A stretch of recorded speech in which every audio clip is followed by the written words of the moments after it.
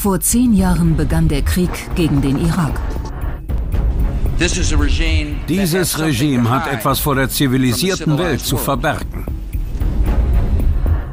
Die Gründe für den Krieg waren erfunden. US-Außenminister Powell präsentiert der Welt Lügen. Alles, was ich heute sage, ist durch Quellen bewiesen. Die Quelle? Ein Iraker in Deutschland. Er hat mir nicht gesagt, dass er vom Geheimdienst ist. Seine Aussagen lösten einen Krieg aus.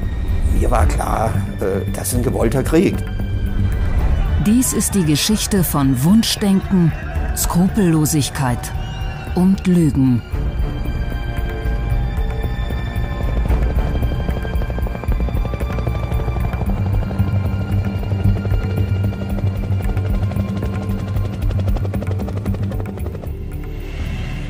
Der 11. September 2001. Rauchschwaden über New York. Die Supermacht ist schwer getroffen. Amerika steht unter Schock. Die Menschen fürchten sich vor weiteren Angriffen.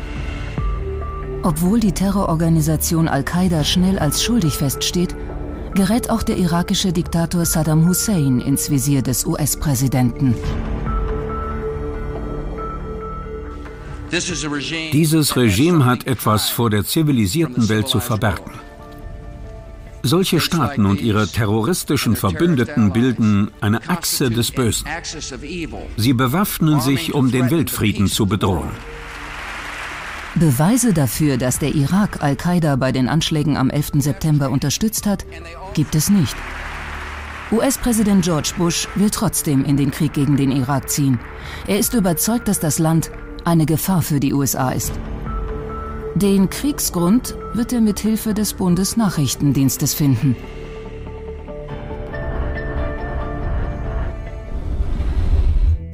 Es ist eine unglaubliche Geschichte, die in Zirndorf bei Nürnberg beginnt. Das Aufnahmelager für Asylbewerber. Hier kommt am 30. Dezember 1999 ein irakischer Flüchtling an. Er ist Chemieingenieur und sucht Asyl in Deutschland. Er wird später den USA den entscheidenden Grund für einen Krieg gegen den Irak liefern. Eine der folgenschwersten Lügen unserer Zeit. Sein Name Rafet Ahmed Alwan. Heute lebt er in Süddeutschland unter einem neuen Namen. Mein Traum war der vieler Iraker. Ich wollte, dass Saddam vertrieben wird, aber es war allen bekannt, dass jeder, der gegen Saddam Hussein war, erschossen wird. Die Behörde in Zirndorf legt eine Akte an. Ein Chemieingenieur aus dem Irak. Die Beamten werden hellhörig und informieren den Bundesnachrichtendienst BND. Es folgt eine intensive Befragung.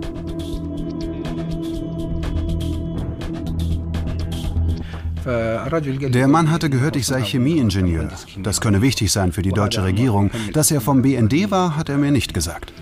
Es stellte sich ja heraus, wohl im Asylantragsverfahren, dass er gearbeitet hat in einer Firma, die eingebunden war in die irakische Rüstung und von daher war er einfach interessant als Informant. Für den Westen sind Informationen über das Waffenarsenal des Irak wichtig. Seit der irakische Präsident Hussein 1998 alle UN-Waffeninspektoren aus dem Land warf, ist unklar, wie viele Waffen der Diktator hat. Und Saddam Hussein gilt als skrupellos. Er hat bewiesen, dass er sogar bereit ist, Giftgas einzusetzen. 1988 lässt er die kurdische Stadt Halabja mit Senfgas, Sarin und Tabun angreifen.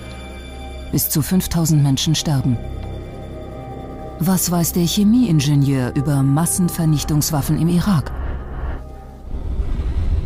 Der BND glaubt einen Top-Informanten gefunden zu haben.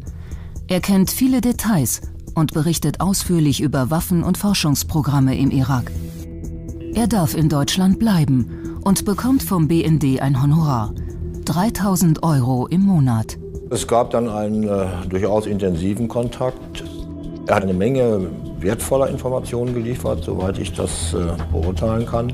Ein Großteil seiner Informationen waren überprüfbar und waren durchaus wertvoll für die Aufklärung des Bundesnachrichtendienstes. Damit hat der BND allen anderen Geheimdiensten etwas voraus. Einen Insider aus dem Irak.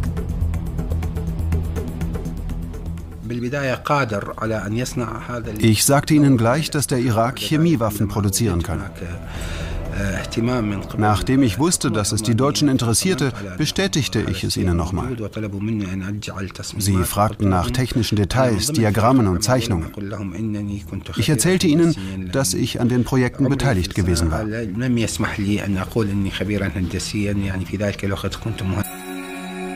Er berichtet dem BND von seiner Arbeit in einer Fabrik in Jerf al-Nadaf am Rande Bagdads.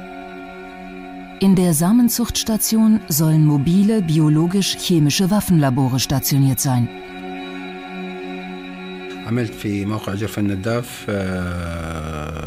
Ich habe sieben oder acht Monate in Jerf al-Nadaf in der Saatgutzucht gearbeitet.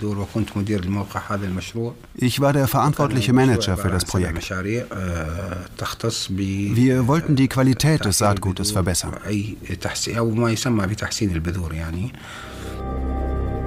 Der Bundesnachrichtendienst gibt die Verhörprotokolle an die britischen und US-Geheimdienste weiter. Es gab äh, ein äh, durchaus eingespieltes Verfahren, dass man bestimmte Erkenntnisse austauschte mit den anderen Diensten. Und dann ist ja immer die Frage, kann man das bestätigen? Wie werthaltig ist die Information? Äh, gibt es Erkenntnisse, die dem widersprechen? Und das ist auch in diesem Fall geschehen. Man hat die Informationen weitergegeben mit der Bitte und Frage, bitte überprüft das doch mal. Ist das in sich schlüssig? Ist das plausibel? Könnt ihr das bestätigen? Die Amerikaner geben der Quelle aus dem Irak den Codenamen Curveball. Die CIA benutzte das Wort Ball für Überläufer aus dem Ostblock, die Informationen über geheime Waffen preisgaben.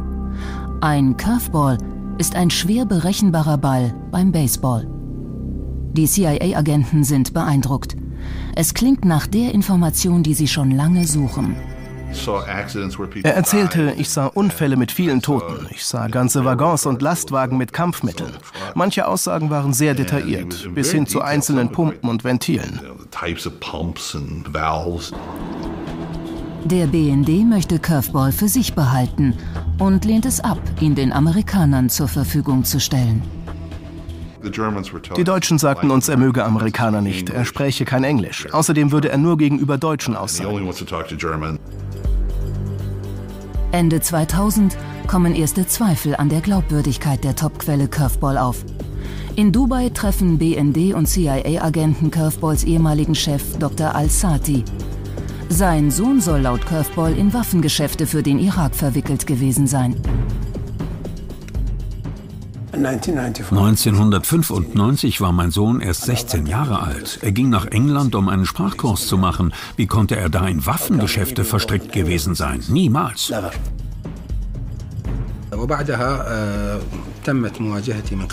Danach wurde ich von den Deutschen mit den Aussagen konfrontiert. Sie sagten, wir haben Al-Zahati getroffen und er streitet alles ab. Ich sagte ihnen, Dr. Al-Zahati ist eine respektierte Person im Irak. Sie müssen selbst entscheiden, wem Sie glauben. Sie sagten, dann glauben wir Dr. Al-Zahati.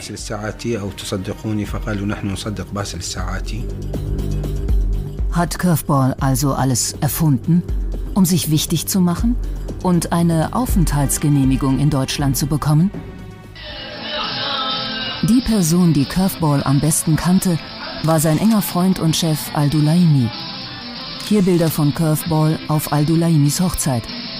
Er kannte Curveballs große Schwäche. Wir haben viel Zeit miteinander verbracht und ich muss wirklich sagen, dass er ein unglaublicher Lügner ist. Wie kommen Sie darauf? Weil er immer Geschichten erfunden hat. Sein Spitzname war Rafet der Lügner.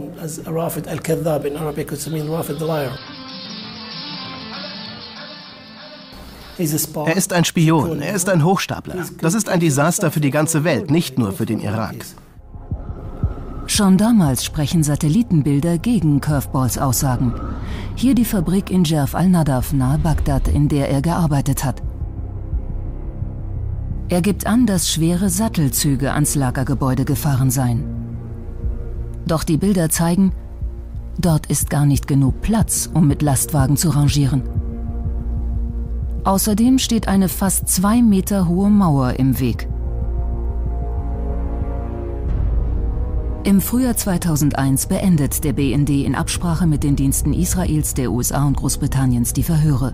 Curveball gilt nicht mehr als verlässliche Quelle. Nach über einem Jahr wird er abgeschaltet. Der ehemalige Top-Informant muss sich sein Geld jetzt mühsam verdienen und in Erlangen Hamburger braten. Der Fall Curveball scheint erledigt, abgelegt im BND-Archiv. Man hatte alle Informationen abgeschöpft. Man konnte bestimmte äh, Informationen nicht verifizieren. Und damit war der Fall zunächst, äh, ich sag mal, von der Aufklärung her ja, ausgeschöpft. Denn Curveball war ja, ich glaube, bis 1998 nur äh, im Irak. Er hatte ja nur einen ganz beschränkten Zeitraum, den er beurteilen konnte. Für uns war natürlich wichtig im Bundesnachrichtendienst, aber für alle anderen westlichen Dienste auch, wie ist die Zeit denn danach zu beurteilen, nach 98? Wurden diese Bemühungen fortgesetzt äh, oder wurden sie eingestellt? Dazu konnte uns Curveball ja keine weiteren Erkenntnisse liefern. Der 11. September 2001. Die US-Regierung hat sofort auch den Irak im Visier. Sie will das Land angreifen und Saddam Hussein vertreiben. Ein Berater von Präsident Bush, Richard Pearl, spricht es gegenüber CIA-Chef George Tenet aus. Er sagte mir im Weißen Haus, Irak muss den Preis für das bezahlen, was gestern geschehen ist. Sie sind verantwortlich. Es ist der 12. September und ich habe den Bericht dabei, der besagt, dass Al-Qaida es war. Es gibt überhaupt keinen Hinweis darauf, dass Irak irgendetwas damit zu tun hat. Noch während ich den Präsidenten informierte, dachte ich die ganze Zeit nur, wovon zum Teufel spricht Pearl?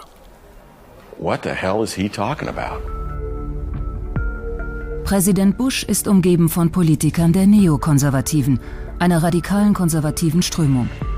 Richard Pearl, Vizepräsident Dick Cheney und der stellvertretende Verteidigungsminister Paul Wolfowitz gehören dazu. Ihr Ziel, die Dominanz Amerikas in der Welt zu sichern. Sie forderten schon in den 90er Jahren mehr Militäreinsätze und einen Regimewechsel im Irak. Dieser Einfluss der Neokons, äh, der war ideologisch getrieben, unglaublich ideologisch getrieben.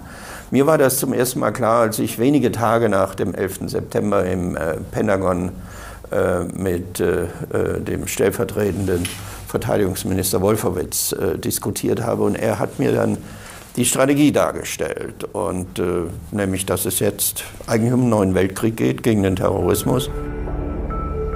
Für die rot-grüne Regierung unter Gerhard Schröder und Joschka Fischer eine heikle Situation. Wie soll sie mit dem Kurs der US-Regierung umgehen?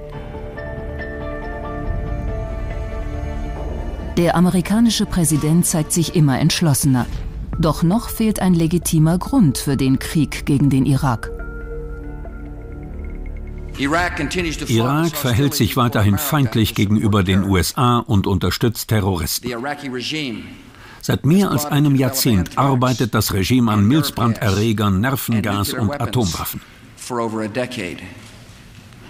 Es ist ein Regime, das bereits Giftgas benutzt hat, um tausende eigene Bürger umzubringen. Sie ließen die Körper der toten Mütter über ihre toten Kinder gebeugt liegen. Es ist ein Regime, das internationalen Inspektionen zustimmte und dann die Inspektoren rauswarf. Die USA üben immer mehr Druck auf Saddam Hussein aus. Und der Diktator gibt nach. Im September 2002 dürfen UN-Inspektoren in den Irak einreisen. Die Suche nach tödlichen Kampfstoffen ist mühsam. Lässt der Diktator das Gift in Getreidefabriken und Futtersilos produzieren? Geht das Katz-und-Maus-Spiel mit den Waffeninspektoren der UN weiter? Die lassen alle Raketen mit mehr als 150 Kilometern Reichweite zerstören. Kampfstoffe aber finden sie keine. Ob Saddam Hussein an biologischen, chemischen oder sogar atomaren Waffen arbeiten lässt, bleibt unklar. Wir haben äh, nach dem oder bei dem ersten Irakkrieg als Erkenntnis gewonnen, dass er nicht so weit entfernt davon war, eine Nuklearwaffe zu entwickeln. Deswegen stand er unter Verdacht. Saddam Hussein hat kürzlich versucht, große Mengen Uran in Afrika zu kaufen. Gerüchte über einen angeblichen Urankauf zirkulieren schon seit Jahren in Geheimdienstkreisen. 2001 taucht ein Dokument auf.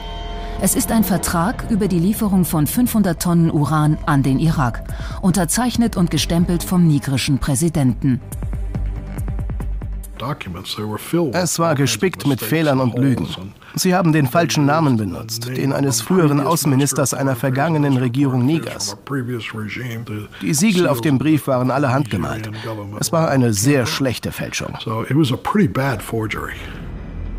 Ein italienischer Kontaktmann will die Dokumente dem französischen Geheimdienst verkaufen.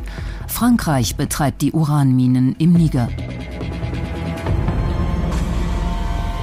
Der französische Geheimdienstchef Pierre Brochant bekommt ein Angebot. Er soll eine hohe Summe für das Dokument zahlen. Wir waren sehr skeptisch und wir haben das Material nicht verbreitet, es noch nicht einmal gegenüber befreundeten Diensten erwähnt.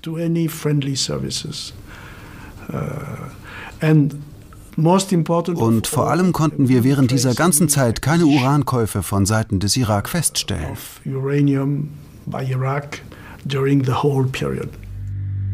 Pierre Beauchamp schickte Agenten nach Afrika, um der Sache nachzugehen. Die Minen des Niger. Hier wird Uran abgebaut. Der Rohstoff auch für Atombomben. Die Agenten berichten, Saddam Hussein habe nicht versucht, hier Uran zu kaufen. Das angebotene Dokument ist wertlos. Doch die Gerüchte halten sich trotzdem.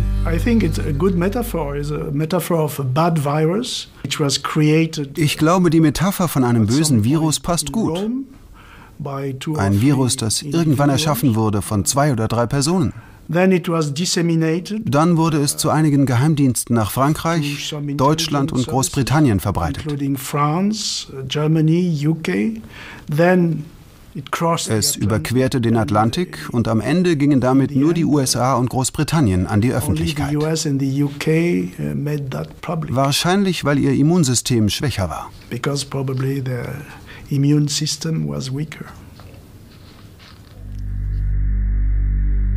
Das Weiße Haus nimmt gierig alles auf, was über den angeblichen Urankauf im Umlauf ist.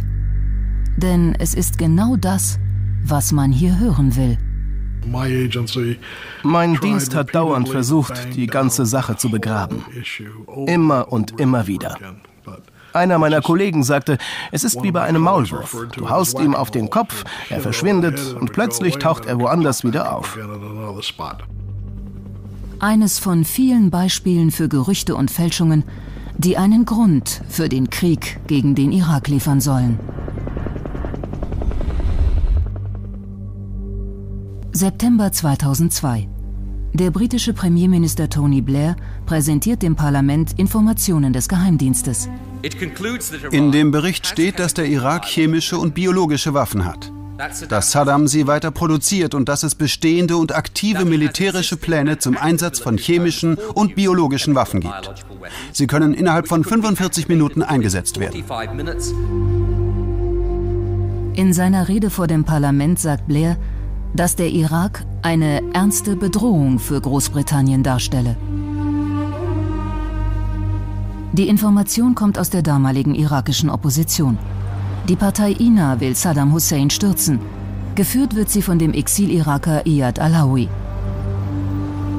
Er will über einen Hauptmann der irakischen Armee von den Chemiewaffen erfahren haben, die Tony Blair in seiner Rede erwähnt hat.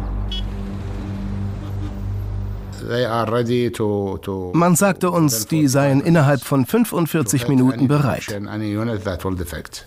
Mit was? Mit chemischen Waffen. Hat Ihr Hauptmann diese Waffen gesehen? Nein. Was hatte der Informant tatsächlich beobachtet? Er beschreibt nur, dass er versiegelte Kisten gesehen habe und vermutet darin chemische und biologische Waffen.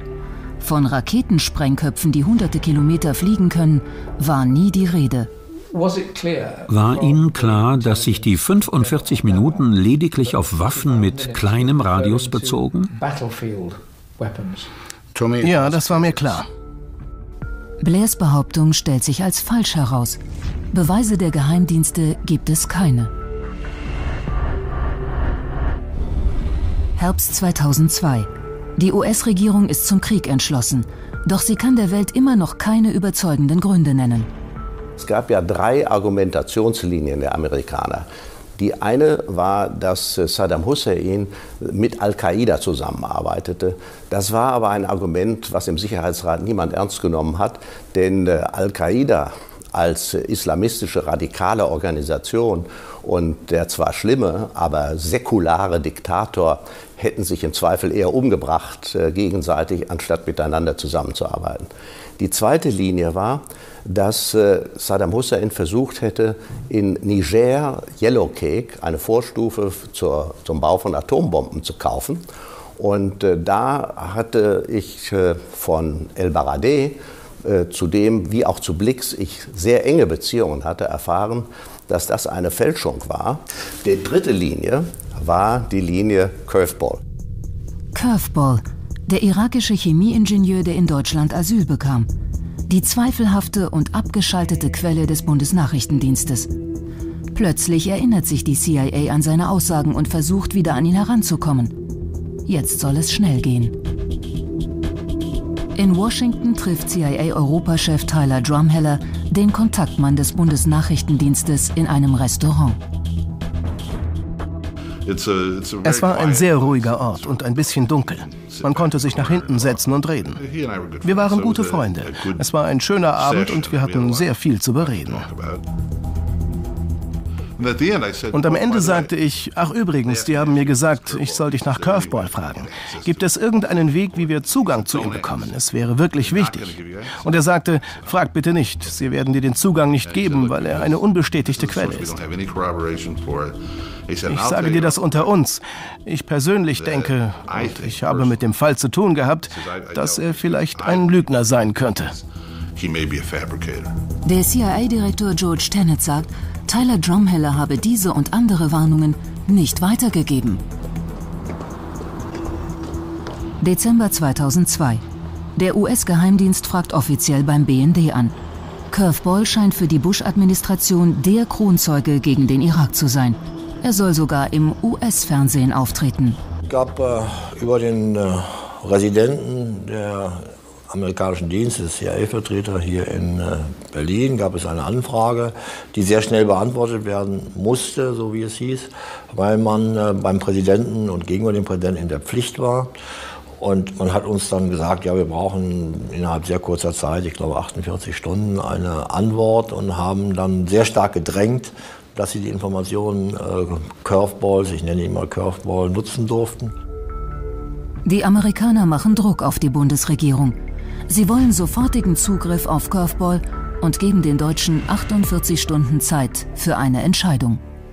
Und das war natürlich für uns eine ganz kritische Anfrage, denn auf der einen Seite äh, haben wir das sehr widerstrebend entgegengenommen.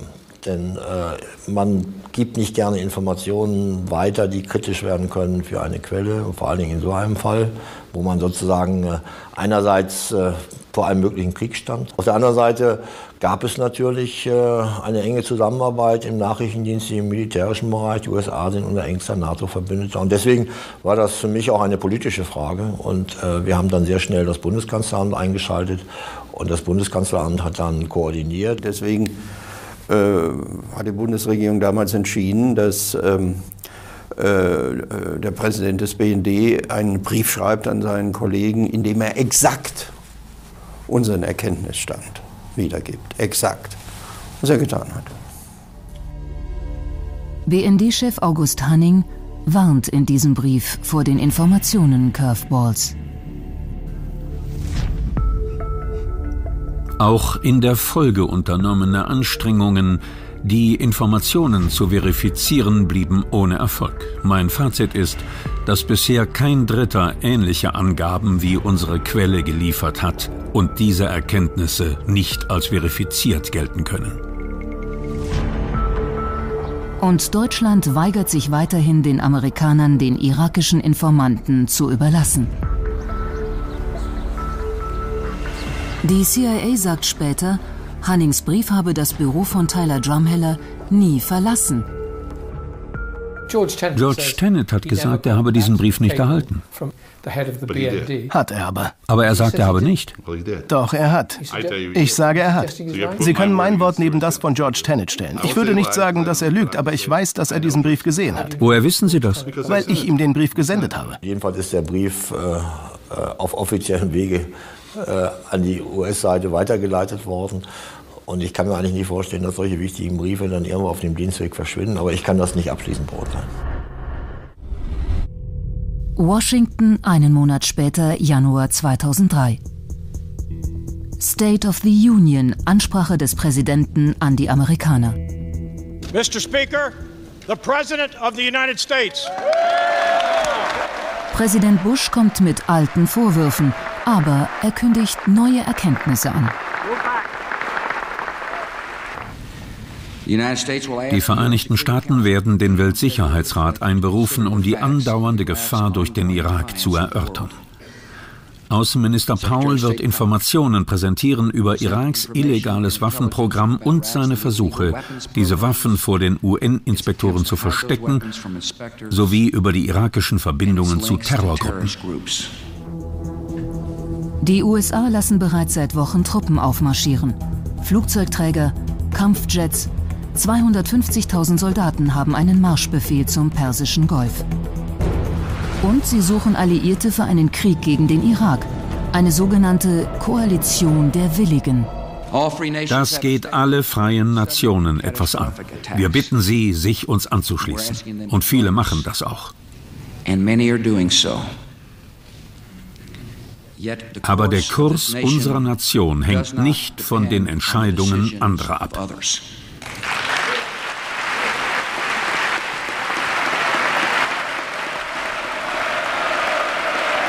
Die Entschlossenheit Bushs bringt Deutschland in ein Dilemma. Mit den USA in einen Krieg gegen den Irak ziehen oder dem Bündnispartner die Solidarität verweigern. Die rot-grüne Bundesregierung lehnt einen Militäreinsatz ab. Wir wollten das Bündnis ja nicht kündigen. Wir waren in der Situation, dass unser wichtigster Verbündeter dabei war, nach unserer Meinung einen Riesenfehler zu begehen. Aber das hieße nicht, dass wir deswegen das Bündnis aufkündigen würden. Das war nie eine Debatte und insofern waren wir in der schwierigen Lage, dass wir ein, äh, ja, auf dünner Linie uns zu bewegen hatten. Das Verhältnis zu Amerika ist gespannt wie selten zuvor. Ausgerechnet in dieser Situation hat Deutschland den Vorsitz im Weltsicherheitsrat. New York Anfang Februar 2003. Außenminister Colin Powell, CIA-Chef George Tenet und einige Berater sitzen im Waldorf Astoria Hotel zusammen, um die von Bush angekündigte wichtige Rede auszuarbeiten. Powell soll vor dem Sicherheitsrat Beweise für Massenvernichtungswaffen in der Hand von Saddam Hussein präsentieren. Die lang gesuchte Begründung für einen Krieg. Ich saß da mit CIA-Direktor Tenet bis 2 Uhr oder später. Die Atmosphäre war ernst. Wir wussten, wir mussten es nicht nur richtig machen, sondern es musste perfekt sein. Hat Colin Powell die Geheimdienstinformationen über Massenvernichtungswaffen vor seiner Präsentation in Frage gestellt? Der Außenminister hat sie nicht nur einmal, sondern immer wieder intensiv in Frage gestellt. Er war persönlich involviert. Er wusste um die Bedeutung dieser Rede für die ganze Welt. Die Nacht vor der Rede. Tyler Drumheller bekommt einen Anruf vom CIA-Chef. Ich war zu Hause, meine Tochter ging ran, es war schon sehr spät und sie sagte, oh Dad, es ist Mr. Tennant. Er war in einem Hotel bei der UNO und sagte, er sei sehr müde, sie seien seit 72 Stunden wach, er brauche eine Telefonnummer. Kurz bevor er auflegte, sagte ich, hey Boss, diese deutschen Berichte über Curveball, stell sicher, dass die aus diesen Berichten nichts zitieren. Mit den Berichten gibt es viele Probleme. Und er sagte, ja, ja, mach dir keine Sorgen, wir haben hier alles unter Kontrolle. George Tenet sagt, er kann sich daran nicht erinnern, dass Sie ihm das gesagt haben. Ich glaube, einer von uns beiden sagt hier nicht die Wahrheit. Ich bin mit mir im Reinen. Auch die deutsche Delegation bereitet sich auf die Sitzung vor. Fischer und sein Team fragen sich, ob Paul eine groß angelegte Präsentation zeigen wird. Die Atmosphäre war sehr angespannt, äh, schon in den Tagen davor. Und irgendwann sagte ich, komm, ich rufe an. Also habe ich Colin Powell angerufen und mit ihm gesprochen und da war klar, da wird nichts dergleichen kommen. Ich wollte auch schon mal vorfüllen Und ähm, wir fuhren mit äh, großer Delegation mit. Wir waren auf alles vorbereitet. Äh, auch äh, der BND war mit Experten mit dabei und äh, es gab einen direkten Draht. Paul versuchte offenbar die deutsche Delegation zu beruhigen und seinen Auftritt herunterzuspielen. Uns ging es darum, äh, den Krieg abzuwenden und dafür haben wir auch gearbeitet innerhalb und außerhalb des Sicherheitsrats. CIA-Chef George Tenet und US-Außenminister Colin Powell betreten den Sicherheitsrat.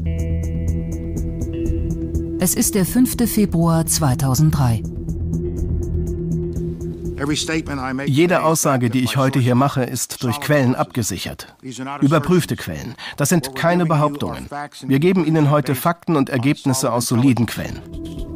Der US-Außenminister präsentiert ausgerechnet Curveball als sichere Quelle, jenen irakischen Chemieingenieur, dessen Aussagen von den Geheimdiensten niemals bestätigt werden konnten.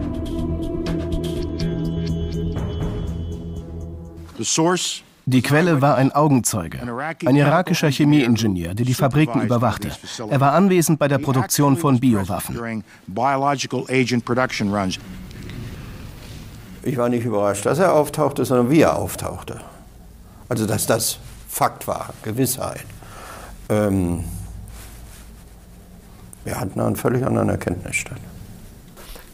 Colin Powell sagte, Sie, die Quelle, seien während der Produktion von Biowaffen anwesend gewesen. Waren Sie anwesend? Nein.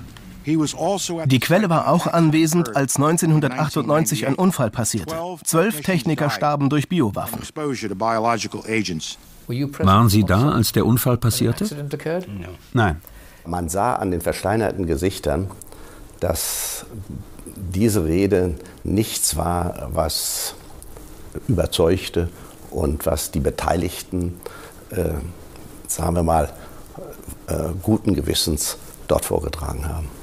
Wir haben Beschreibungen aus erster Hand von biologischen Waffenfabriken auf Rädern und Schienen. Die Labore sind mobil, um sie besser vor den UN-Inspektoren zu verstecken. Wir haben damals gewusst, dass das, was Colin Powell dort vortrug, insbesondere die fahrbaren Biolabors, nicht den Tatsachen entsprechen konnte. Und wir haben aber nicht geglaubt, dass er dort bewusst die Unwahrheit sagte, denn Colin Powell war ein Außenminister, der als Persönlichkeit bei allen sehr beliebt war. Sie haben Zeichnungen gemacht von den mobilen biologischen Waffenfabriken auf Lastwagen. Haben Sie die erfunden? Ja. Und Sie haben sich auch ein Modell dieser Lastwagen ausgedacht? Ja. Und nochmal, haben Sie das auch erfunden? Paul mochte die Zeichnungen nicht. Er wandte sich an Mr. Tennant und sagte, George, du kannst nicht von mir erwarten, dass ich mit diesen Zeichnungen da rausgehe. Hast du keine Fotos, keine realen Bilder von diesen Dingen? Und Tennant zuckte mit den Schultern und sagte, Herr Minister, nein, haben wir nicht. Ich habe im Büro den Fernseher angemacht. Sie haben das benutzt, den ganzen Curveball-Kram. Moment mal. Paul hatte auch Zeichnungen von mobilen LKW mit Biowaffen. Das hat den Eindruck gemacht, als wären sie genau nach Curveballs Aussagen gezeichnet. Das stimmte alles nicht? Nein. Alles Lügen? Ja. Die US-Regierung hatte die Skizzen von Curveball aufmotzen lassen. Bis ins Detail. Alles erfunden. Schieben Sie es auf mich. Ich war's. Ich habe im Weißen Haus darum gebeten, die Grafiken anzufertigen. Es waren Curveballs Aussagen, die den Außenminister und die Geheimdienste davon überzeugten, dass Irak mobile Waffenlabore hat. Seine Augenzeugenberichte über diese mobilen Labore werden durch weitere Zeugen bestätigt. Gibt es Erkenntnisse, die die USA ihren Verbündeten vorenthalten hatten? Das war mir neu. Und ich war einerseits überrascht über die Detailtreue des Vortrags, und es war ja doch recht detailliert. Auch die Beschreibung des Informanten Das äh, hat uns schon gestört und geärgert. Und ich habe dann sofort äh, unsere Vertreter in Washington angewiesen, nachzufragen bei den Amerikanern, äh, wer denn das bestätigen könne, äh, ob das verlässliche Quellen seien, äh, wie denn überhaupt dieser Vortrag zustande gekommen sei. Bei dieser Sitzung, die äh, ja auch ein Stück weit Drama war, waren die Entscheidungen aber alle schon gefallen. Mir war klar, äh, das ist ein gewollter Krieg. Wir gehen Richtung Krieg und äh, es muss ein Wunder passieren, ähm, um äh, George Bush von dieser Linie abzubringen. Ich habe sehr früh in New York erfahren, wie, das wie die Entscheidungsfindung zum Teil abgelaufen ist. Das hat äh, doch eine gewisse Enttäuschung hervorgerufen. Denn daraus ergab sich ganz klar, dass die amerikanische Gericht, äh, Regierung genau wusste, was sie tat und dass die Informationen, die sie der Weltöffentlichkeit, aber natürlich in erster Linie der eigenen Öffentlichkeit per Fernsehen vermittelt hat, eben falsch waren. Das war, was Psychologen Gruppendenken nennen. Uh, das ging so. Wir wissen alle, dass er Massenvernichtungswaffen hat. Auf die Details kommt es jetzt nicht an. Wenn unsere Truppen erst mal da sind, finden wir sie sowieso. Aber das war unsere Einschätzung, die, die wir gewonnen haben, äh, dass hier etwas fabriziert wurde, äh, um den Krieg äh, nach Iran, äh, Irak zu tragen. Nur drei Tage später im Irak. UN-Waffeninspektoren versuchen, die von Powell beschriebenen Biowaffen zu finden. Sie durchsuchen die Fabrik in Jerf al-Nadaf, in der Curveball die mobilen Labore gesehen haben will. Was haben Sie dort gefunden? Viele Getreidekörner, viel Mais und sonst rein gar nichts. Das Gebäude war sehr stark verstaubt. Es gab ein paar alte Gerätschaften, aber ich kann mir nicht vorstellen, dass sie jemals zur Produktion von Biowaffen taugten. Ich weiß nicht, wann da zum letzten Mal Leute drin waren. Ich war zumindest der Erste seit einer langen Zeit. Völlig ausgeschlossen, dass hier Biowaffen produziert wurden. Darüber war ich wirklich sehr enttäuscht. Auf der Münchner Sicherheitskonferenz am 8. Februar wird Joschka Fischer das deutsche Nein zum Krieg verteidigen. Es kommt zum Showdown zwischen ihm und US-Verteidigungsminister Donald Rumsfeld. Meine Generation hat dabei gelernt, you have to make the case. And to make a case in the democracy, you must convince by yourself. Excuse me, I'm not convinced. This is my problem. And I cannot go to the public and say, oh, well, let's go to war because there are reasons and so on. And I don't believe in that. Das war eine, eine Atmosphäre, die mich ehrlich gesagt auch äh, äh, unglaublich genervt hat. Das war so eine Mischung aus Herrenclub und äh, Einverständnis, wenn äh, Donald Rumsfeld dort sprach. Und äh, es waren alle ähm, nenne keine Namen, aber die, alle, die da rumsaßen, das, war, das hatte was von, von der Kriegstreiberkonferenz an sich. Und ich war der Meinung, da muss ich jetzt mal dagegenhalten. Und ich hatte eine vorbereitete Rede. Es wurde zwar übersetzt, äh, aber irgendwann bin ich dann ins Englische ähm, ähm, umgeschwenkt äh, und äh, das war dieser Satz. Knapp sechs Wochen später. In der Nacht vom 19. auf den 20. März schlagen amerikanische Marschflugkörper in Bagdad ein. Die USA führen Krieg gegen den Irak. Nicht einmal einen Monat benötigt die Koalition der Willigen, um das gesamte Land einzunehmen. Der Diktator Saddam Hussein ist gestürzt. US-Spezialisten haben jetzt freie Bahn. Sie durchkämmen das ganze Land. Trotz intensiver Suche finden die Experten keine Massenvernichtungswaffen. Alle Berichte der Geheimdienste erweisen sich als falsch. Der britische Geheimdienst MI6 spürt einen Taxifahrer in einem kleinen Ort in Jordanien auf. Er war einer der Informanten für die Berichte über Massenvernichtungswaffen im Irak. Wie sich herausstellt, hat er nur gehört, wie sich zwei irakische Generäle auf dem Rücksitz über Chemiewaffen unterhalten haben, mehr nicht. Dieser Fall zeigt, wie wenig die angeblichen Beweise einer ernsthaften Überprüfung standhielten. Erst ein Jahr nach der Invasion im Irak verhören CIA und MI6 ihren Kronzeugen Curveball zum ersten Mal selbst. Es gab keine Übereinstimmung zwischen Satellitenfotos und Curveballs früheren Schilderungen von geheimen Waffenlaboren. Curveball sagte, das ist eine Manipulation. Unser Mann antwortete, nein, das ist nicht manipuliert worden. Und Curveball sagte, ich glaube, ich habe bereits alles gesagt. Ich sagte doch, dass es ein Fehler war. Das war das Letzte, was er zu ihnen gesagt hat. Und was war der Eindruck Ihres CIA-Beamten? Er rief mich direkt danach an, auf einer sicheren Leitung, und sagte, dieser Mann ist ein Schwindler. Ich glaube, er hat sich das alles ausgedacht. Die CIA erklärt danach Curveball offiziell zum Lügner. Eine Woche später tritt CIA-Chef George Tenet zurück.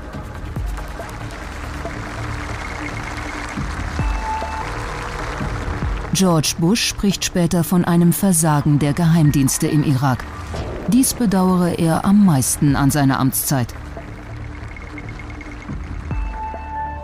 Doch es war der Druck aus dem Weißen Haus, der dazu führte, dass die Geheimdienste nur die Ergebnisse produzierten, die der Präsident und sein Führungsteam forderten.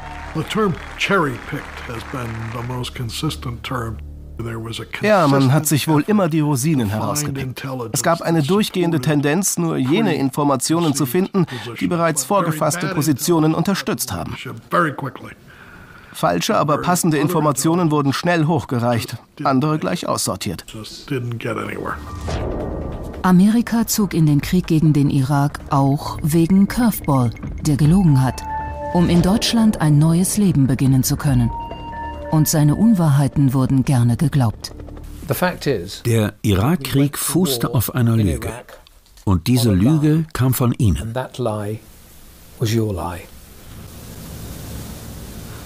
Yes. Ja.